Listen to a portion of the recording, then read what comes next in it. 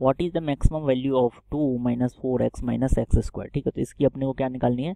Maximum value ठीक है? तो लेट से मैं इसको क्या बोल देता हूँ? एफ़ एक्स बोल देता हूँ फ़ंक्शन एफ़ एक्स क्या किया बना है? Two minus of four x minus of x square अब मैक्सिमम मिनिमम निकालने के लिए अपन क्या करें? एफ़ डैस एक्स निकालें. ठीक है, इसका डिफरेंसन क्या आ जाएगा? टू का डिफरेंसन ज़ीरो माइनस फोर ठीक है minus four as it is x का डिफरेंसन यहाँ पे वन हो जाएगा.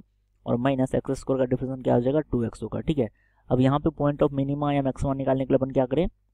अब डैश एक्स को ज़ीरो पुट करें तो ये वैल्यू क्या है? यही वैल्यू देखो तो ये minus four minus two x ठीक है? तो ये किसकी वैल्यू आ गई है? एफ़ डैश एक्स की वैल्यू आ गई है। अब पॉइंट ऑफ़ मैक्सिमा मिनिमा के लिए क्या करें?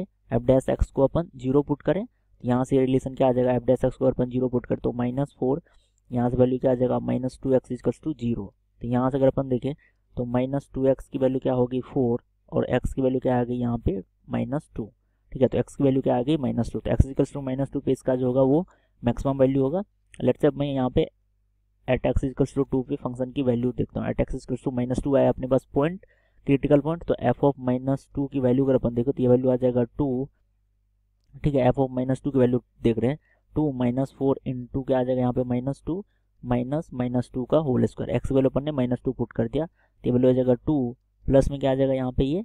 एट और ये आ जाएगा माइनस का फोर ठीक है तो ये बेसिकली वैल्यू क्या आ गया? Eight plus two ten minus four तो ये वैल्यू आ गया सिक्स तो मैक्सिमम वैल्यू इसकी क्या होगी? Six option C is the right answer